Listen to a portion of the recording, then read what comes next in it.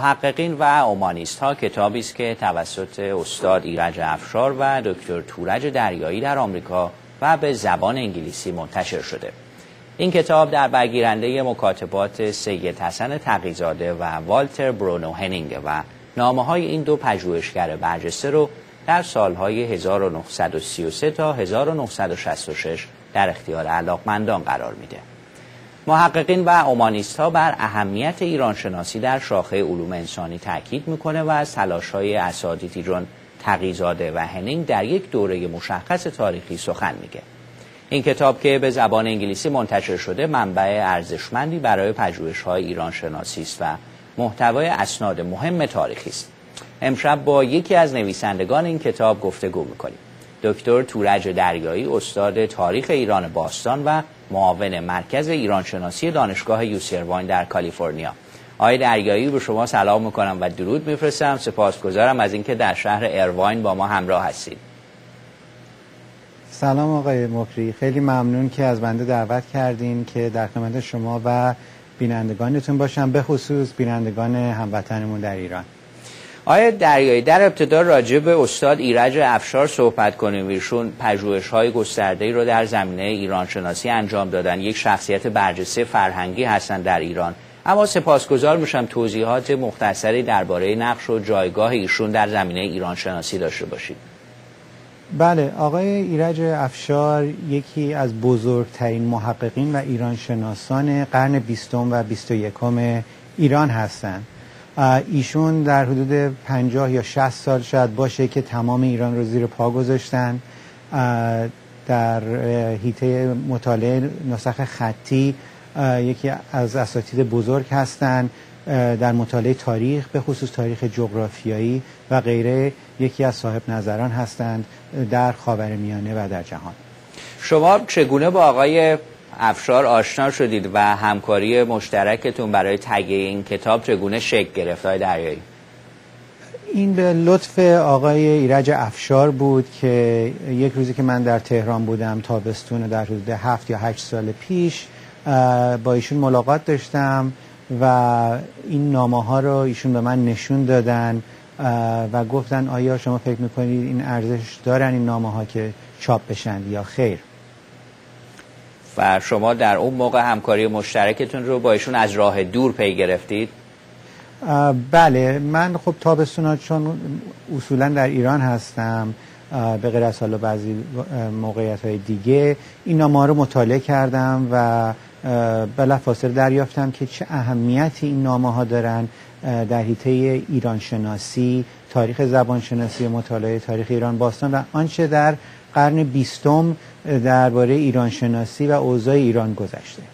آقای دریایی من توضیح مختصری دادم که این کتاب در برگیرنده نامه هایی است که سید حسن تقیزاده به والتر برونو هنینگ نوشته و نامه هایی که آقای هنینگ به تقیزاده نوشته. بسیاری سید حسن تقیزاده رو به عنوان یک شخصیت سیاسی در ایران می‌شناسن. شاید کمتر آگاهی و اشراف در رابطه با فعالیت های فرهنگیش وجود داشته باشه. برامون در این زمینه توضیح می‌دید. بله سید حسین حسن تقیزاده یکی از این افراد نادری هست که در قرن بیستم در ایران میزیسته. ایشون باید یادآوری بشه که مجله کاوه که یک مجله بسیار مهم بود در اول قرن بیستم با جمالزاده و کازمزاده در آلمان به چاپ میرسوندن. ایشون در دهه 1940 در لندن دانشگاه لندن تدریس می‌کردن و به خاطر علمشون و یافته هاشون مرتبا با اساتید غربی ایرانشناس هم در تماس بودن. در رابطه با برونو هنینگ چه گفتنی هایی وجود داره؟ در این حد شاید بسیاری آگاه باشن. خب استاد زبان و ادبیات فارسی باشه ولی چگونه در زمینه ایران شناسی فعالیت می‌کرد و ارتباطش با تقیزاده چگونه بوده؟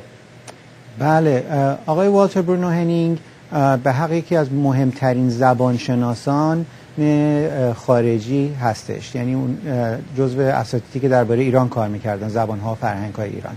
ایشون در آلمان اول بودن بعد به انگلستان رفتن و سپس به آمریکا اومدن. و بیشتر اساتیدی که ما امروز از اونها قدردانی می‌کنیم مثل آقای دکتر یار شاتر و غیره دانشجوهای آقای والتر برونو هنینگ بودن. این نامه ها آقای دریایی بین سالهای 1933 تا 1966 میلادی بین این دو شخصیت رد و بدل شده. چطور حفظ شده و برای تهیه این کتاب چگونه ازش استفاده شده؟ بله من همونطور که قبلا ذکر کردم استاد ایرج افشار این نامه ها رو به من نشون داد. البته نامه ها به خاطر زمان مقداری سخت خونده می شدن ولی این نامه ها رو استاد افشار به من گفتن که خانم ایدت یا اتیه همسر آقای تقیزاده به آقای افشار واگذار کرده بودند و مدت ها بود که پلوی ایشون بود و چون به حال این مدارک درباره مسائل ایران شناسی به خصوص ایران باستان بود آقای افشار فکر کردن که شاید مد نظر من هم قرار بگیره و ما بتونیم با همدیگه همکاری کنیم که این نامه ها به چاپ برسه. آیا این مجموعه در برگیرنده تمام مکاتباتیه که بین طرفین رد و بدل شده در این زمینه شما آگاهی دارید؟ بله جواب به سوال شما خیره. به این دلیل که تعداد نامه هایی که ما از هنینگ داریم به تقیزاده خیلی بیشتره در این کتاب. و به خاطر اینکه تقیزاده نامه ها رو نگه داشته ولی ما نمی‌دونیم یک سری از نامه هایی که تقیزاده به هنینگ فرستاده بوده به کجا رفته و پلوی کی می‌تونه باشه. برای همین تا حدودی این نامه نگاری مکاتبه کامل نیستش. شامل چه مطالبی هستین نامه های دریایی؟ به صورت کلی میشه توضیح بدید که چه مسائلی رو در بر می‌گیره و فکر می‌کنید چه اهمیتی در مطالعه ایران شناسی داره امروز؟ بله در وهله اول باید گفت که مسائل زبانشناسی مطالعات متون مانوی و تاریخ ایران باستان درشون درش پیدا کرده. برای اونایی که خب در این رشته ها تخصص دارن یا اشتیاق دارن که بیشتر بدونن این نامه ها خیلی مهم هستن یعنی این کتاب. در وهله دوم نشون میدن که آقای تقیزاده چه کار مهمی در قرن بیستم برای ترویج ایران شناسی و فرهنگ ایران در خارج و در جهان انجام دادن. این خیلی مهمه. به خصوص که امروزه من می‌دونم که در مملکت خودمون آنچنان که باید و شاید از آقای تقیزاده قدردانی نمیشه.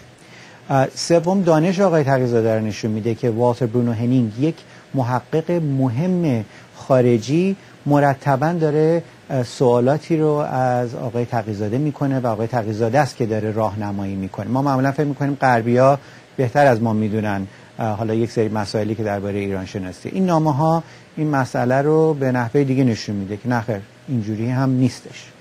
در وهله آخر می‌تونم بگم تمام اساتید مهمی که ما در قرن بیستم درباره ایران باستان تحقیق کردن خانم مری بویس آقای یارشاتر و اشخاص مختلف دیگه مثل مشتبه مینووی و غیره در این نامه از اونها ذکر شده موقعی که دانشجو بودن. من یک مثال کوتاه بهتون بدم. آقای هنینگ نامه به تقیزاده نوشته که پریروز یک دانشجوی جوانی وارد دفتر من شده ایرانی هستش و من می‌کنم خیلی فرد باهوشیه و خوب می‌تونه زبانهای باستانی رو یاد بگیره. نام او احسان یار شاتر هست و دانشجوی فوق العاده خوبی هست. می‌دونید ما داریم در حقیقت یک سری اطلاعات درباره یکی از یک سری از مهمترین ایران شناسامون رو در این نامه ها می‌بینیم مشاهده می‌کنیم. آقای دریایی به نظر شما همین مکاتبات بین یک پژوهشگر شرقی و غربی چه اهمیتی می‌تونه داشته باشه؟ این داد و ستن و تبادل فرهنگی از دید شما که استاد دانشگاه هستی چه ویژگی رو داره؟ بله ببینید من فکر می‌کنم دانشمندان ایرانی به حال یک سری مطالعات مهمی دارن که غربی ها ندارن و غربی ها یک می‌دونید دانش به خصوص سیستماتیک بر حسب زبون شناسی و غیره دارن که ما ایرانی ها یه مقدار باش کمتر آشنا هستیم. این تبادل نظر من فکر می‌کنم علم ایران شناسی رو به طور کل ترویج میده. من فکر می‌کنم موقعی که دانشمندان با هم دیگه در تماس هستند اون موقع بیشترین نفع به مطالعه ایران و ترویج تمدن ایران در جهان باعث میشه. به غیر از این ما می‌تونیم در حقیقت بگیم که ایزوله میشیم و حتی ایران شناسی ممکنه در خارج ترویج پیدا نکنه.